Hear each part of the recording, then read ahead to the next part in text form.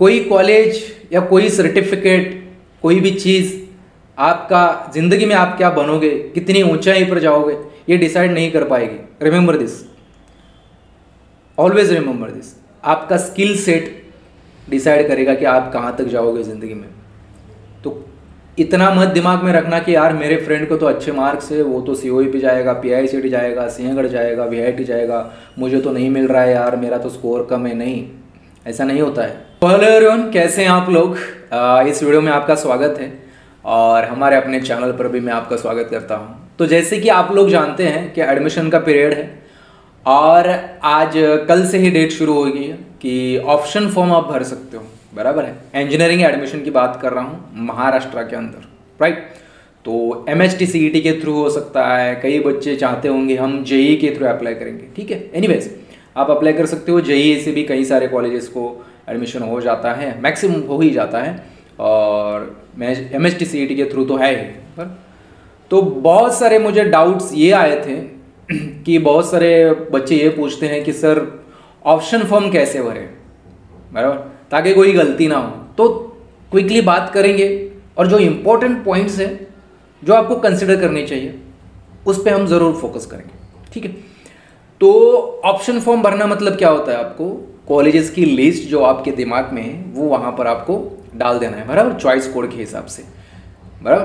तो किसी particular college के अंदर कोई पर्टिकुलर कोर्स है तो उसका एक चॉइस कोड होता है, पर उसके हिसाब से आपको लिस्ट बनानी है। ऐसे कई सारे बच्चे होते हैं, वो सिर्फ़ एक ही कॉलेज डालते हैं। ऐसे कई बच्चे होते हैं जो पाँच कॉलेज डालते हैं। कई बच्चे ऐसे भी होंगे जो बीस, पचास कॉलेज डालते होंगे। बराबर? आपका स्कोर अगर ज़्यादा है और आपके दिमाग में कोई कॉलेज है जिसमें आपको एडमिशन चाहिए? मान लीजिए सी ओ की अगर बात करते हैं तो 99 परसेंटाइल के ऊपर पिछले साल का कट ऑफ़ था। तो अगर आपका उतना स्कोर है तो आपको लगता है मुझे सी ओ ही चाहिए। आपको 100 परसेंटाइल है इन केस मान लीजिए आपको 100 परसेंट है सीट तो आपको सी भी मिलेगा, कोई भी कोर्स मिलेगा। तो ठीक है, आपको कोई और कॉलेज डालने की ज़रूरत नहीं है उस वक्त, ठीक है? तो हर कोई तो हंड्रेड परसेंटाइल या नाइन्टी नाइन परसेंटाइल वाला नहीं होता राइट तो कई सारे जो एवरेज स्कोर वाले स्टूडेंट्स होंगे, उनको तो लिस्ट बनानी होगी। और लिस्ट ऐसी बनानी है आपको कि आपके स्कोर के हिसाब से आपको बेस्ट कॉलेज मिलना चाहिए। स्कोर के हिसाब से बेस्ट बोल रहा हूँ मैं। तो ध्यान से देखना है, मैं ध्यान से देखना भी है और ध्यान से सुनना भी है। मैं क्या क्या बता रहा हूँ। गलती नहीं करनी है कोई भी, ठीक है? तो सबसे पहले मैं बता दूँ अगर आपने ऑप्शन फॉर्म भरा है तो थोड़ा वक्त लीजिए उसको कंफर्म करने से पहले।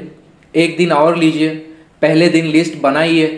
अगले दिन, तीन दिन का वक्त है थर्टीन फोर्टीन तीन दिन का वक्त है तो आप तेरह को अगर लिस्ट बनाइए तो चौदह को शाम तक आप कंफर्म कर सकते हो। थोड़ा वक्त लीजिए। एक घंटे में कर दिया और पहले आपने सबमिट कर दिया कंफर्म कर दिया तो फिर आप चेंजेस नहीं कर पाओगे। बराबर? पंद्रह को भी सुबह में आप कर सकते हो। एट द लास्ट मोमेंट पे नहीं करना है, थोड़ा पहले करना है, लेकिन एक दो दिन आप ले सकते हो ज़रूर, ठीक है? तो क्या क्या प्रेफरेंसेस होने चाहिए? मान लीजिए मैं एडमिशन लेने जा रहा हूँ और मेरा स्कोर कुछ भी हो सकता है सिक्सटी परसेंटाइल मान लेते हैं। तो मैं क्या करूँगा? तो मैं क्या करूँगा? मैं कट ऑफ़ देखूँगा, वहाँ पर अवेलेबल है पिछले साल का कट ऑफ़ जो जिस, जहाँ पर आपने एफ़ ई ट्वेंटी टू महा सी ई टी जो भी वेबसाइट है वहाँ पे अवेलेबल है तो कट ऑफ़ मैं चेक करूँगा। और मैं अपने वीडियो वीडियोस भी बनाए हुए अपने चैनल पे। जितने भी पुणे में नासिक में कॉलेजेस हैं इंजीनियरिंग के सबके वीडियोस अवेलेबल हैं। अगर मुझे वक्त मिलता है, मैं जाऊँगा वीडियोस देखूँगा। उसके साथ कट ऑफ़ फिर सारी चीज़ें प्लेसमेंट के बारे में भी बताया हुआ है। हर एक कॉलेज के ऊपर डेडिकेटेड वीडियो है। तो उसकी भी हेल्प ज़रूर लूँगा मैं। बराबर? तो एक और ही आइडिया मेरे दिमाग में आ जाएगा कि कौन सा कॉलेज मेरे लिए बेस्ट है। ऑफकोर्स वहाँ पे कट ऑफ़ भी मैटर करता है। मान लीजिए आपका 60 परसेंटाइल कट ऑफ़ है तो आपको 55 परसेंटाइल वाला तो मिल जाएगा। 65 परसेंटाइल वाला भी पिछले साल कट ऑफ़ कंसिडर कर सकते हो। बराबर? Plus minus five to ten percentile के ज़रूर आप कंसिडर कर सकते हो। ठीक है? तो आपको एक लिस्ट बनानी है। लिस्ट में ज़्यादा से ज़्यादा कॉलेजेस रखो। क्यों? क्योंकि देखिए, क्या होता है फ़र्स्ट राउंड इज़ द मतलब most important round CAP round का फ़र्स्ट राउंड में ज़्यादा से ज़्यादा 99 परसेंट आपका फ़र्स्ट राउंड में होना चाहिए सिलेक्शन क्योंकि कैप राउंड टू में फिर, मान लीजिए आपको कंप्यूटर इंजीनियरिंग कोर्स चाहिए और कैप राउंड वन में नहीं मिलता है तो जो कॉलेज आपको चाहिए था या फिर किसी भी कॉलेज की अगर बात करते हैं तो उसमें ज़्यादातर सीट्स तो फिलअप हो जाएँगे कैप राउंड वन में ही। तो बहुत कम सीट्स बचेंगे। ऐसा भी हो सकता है सीट्स बचे ही ना कैप राउंड टू के लिए। तो इसलिए आपको कैप राउंड टू का वेट नहीं करना है। 99 परसेंट ऐसा है कि आपका कैप राउंड वन में मिल जाना चाहिए कोई ना कोई कॉलेज जो और जो आप कोर्स चाहते हैं, वो कोर्स ठीक है? क्योंकि कैप राउंड वन में सारा का सारा खाली होता है सीट्स तो ज़्यादा चांसेस हैं वहाँ पर मिलने। लेकिन आपको दिमाग लगाने, लगा के लिस्ट डालनी है। तो कैसे कॉलेज सिलेक्ट करें? तो सबसे पहले आप खुद के मन में पूछिए, आपके प्रेफरेंसेस क्या है? आपको हॉस्टल चाहिए, क्योंकि कई सारे कॉलेजेस ऐसे भी होते हैं जहाँ पर हॉस्टल अवेलेबल नहीं है। ठीक है? तो एक बात मैं बताओ जहाँ सारी फैसिलिटीज़ अवेलेबल है, उस कॉलेज का कट ऑफ़ भी बढ़ता है। और आपका स्कोर कम है तो कुछ चीज़ें आपको कॉम्प्रोमाइज़ करनी पड़ेंगी। बराबर? लोकेशन के हिसाब से आप कॉम्प्रोमाइज़ कर सकते हो। जो कॉलेज का लोकेशन थोड़ा आउटसाइड है, वहाँ का कट ऑफ़ कम होता है कंपेरेटिवली बराबर?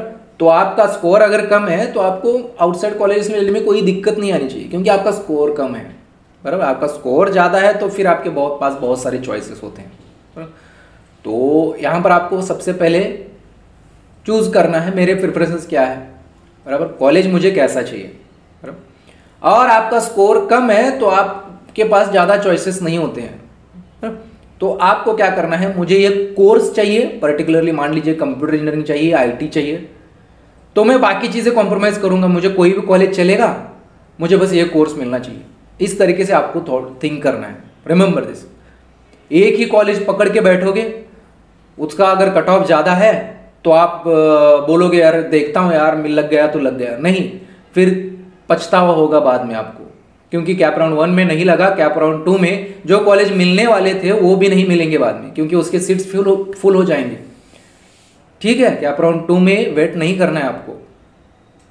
तो कैप राउंड टू में बहुत कम सीट्स रहते हैं, और कंप्यूटर आईटी जो भी मोस्ट वांटेड जो कोर्सेस है ज़्यादातर उसके तो सीट्स नहीं रहेंगे, बहुत कम रहेंगे।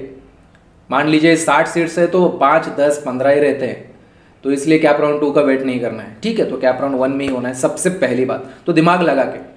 तो कुछ पॉइंट्स मैं आपको बताता हूँ, जैसे कि सीट मैट्रिक्स सीट मैट्रिक्स देख लेना, मैंने उसके ऊपर वीडियो बनाया हुआ है, उसमें जाके देख लेना कि कैसे सीट मैट्रिक्स देखते हैं। ओके उसके बाद आपका स्कोर आपके दिमाग में रखना है।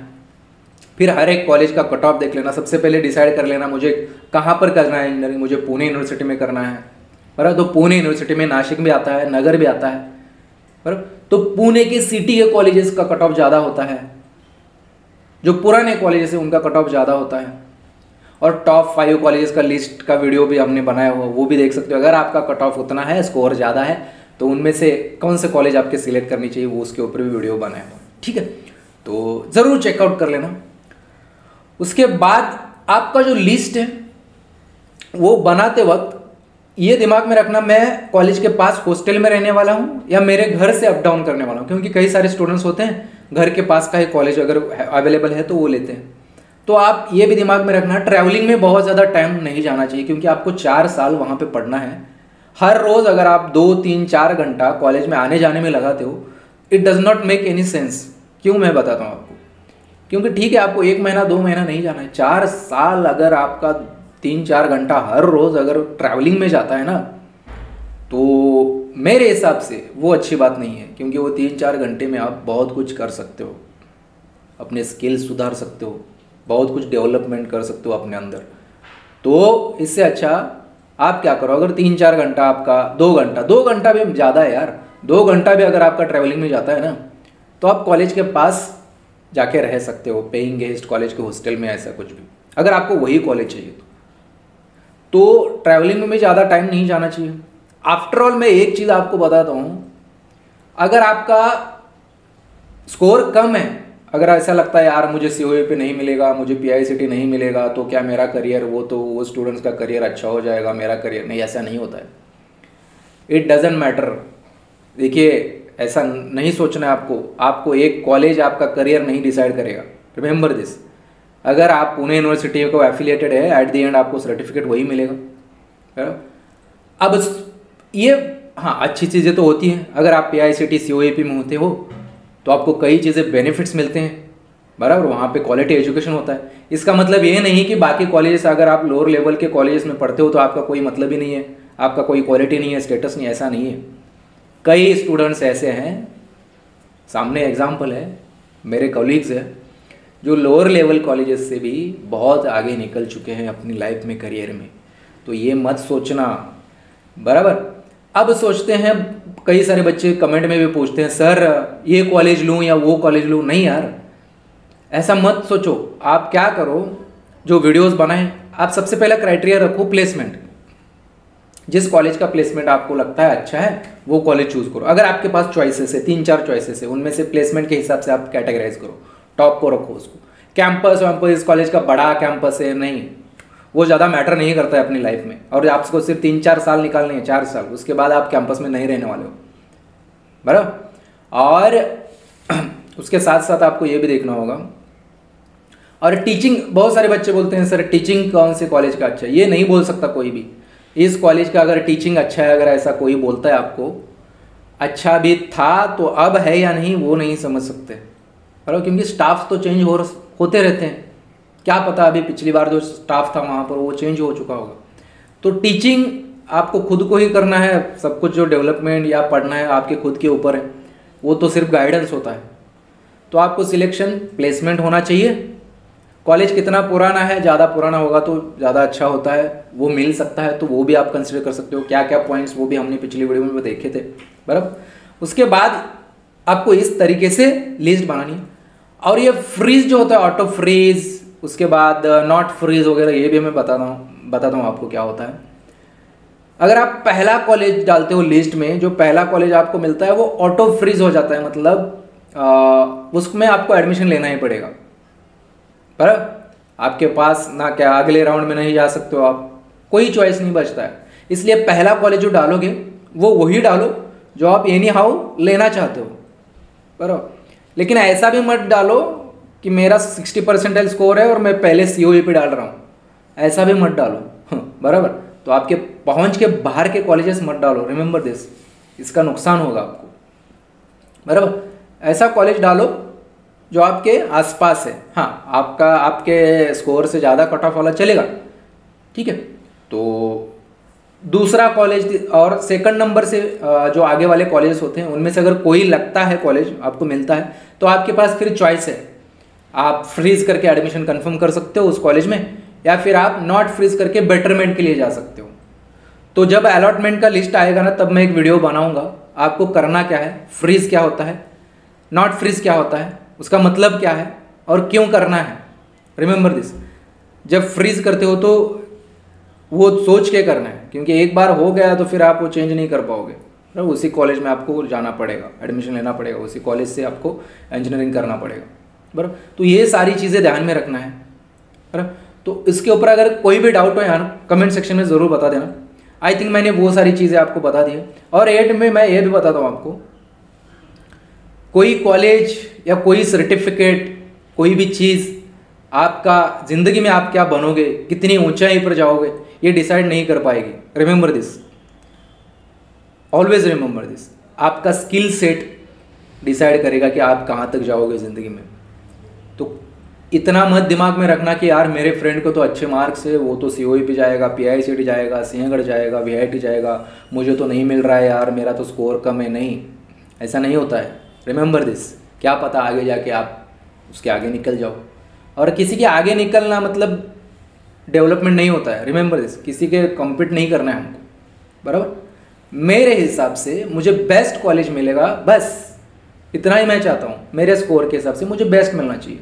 सिक्सटी परसेंटाइल वालों के हिसाब से उनके जो अराउंड कॉलेजेस आते हैं, उनमें से बेस्ट चूज़ करना है आपको। बराबर? एट्टी परसेंटाइल है तो उसमें से आपको एट्टी परसेंटाइल के हिसाब से बेस्ट कॉलेज चूज़ करना है। ठीक है? तो आई होप आपको समझ में आ गया मैं क्या कहना चाहता हूँ, है ना? तो किसी का कुछ आप सजेशन वगैरह ये मत लो डिप्रेशन में नहीं जाना है यार, मेरा तो फ्रेंड वहाँ पे गया सी में गया तो मैं तो यहीं पढ़ूँगा। ऐसा नहीं सोचना है बिल्कुल भी, बराबर? तो आप वो भी कंप्यूटर इंजीनियरिंग बनने वाला है, वो आप भी कंप्यूटर इंजीनियरिंग बन लो, बस कॉलेज का फ़र्क है और सावित्री भाई फुले पुणे यूनिवर्सिटी का अगर बात करें, कोई भी यूनिवर्सिटी हो यार यूनिवर्सिटी को एफिलेटेड कोई भी कॉलेज है ना तो सबका करिकुलम एक ही होने वाला है। अगर ऑटोनॉमस नहीं है तो ऑटोनॉमस का थोड़ा अलग बात होता है। जो नॉन ऑटोनॉमस कॉलेजेस है और एक यूनिवर्सिटी का एफिलेटेड है तो सबका सिलेबस एक ही होगा। सबका एग्ज़ाम सारी सारी चीज़ें सेम होंगी। सबको सर्टिफिकेट एक ही मिलेगा। तो same quality students pass out होने वाले चाहे पीआईसीटी से हो, या फिर लोअर लेवल कॉलेजेस से हो।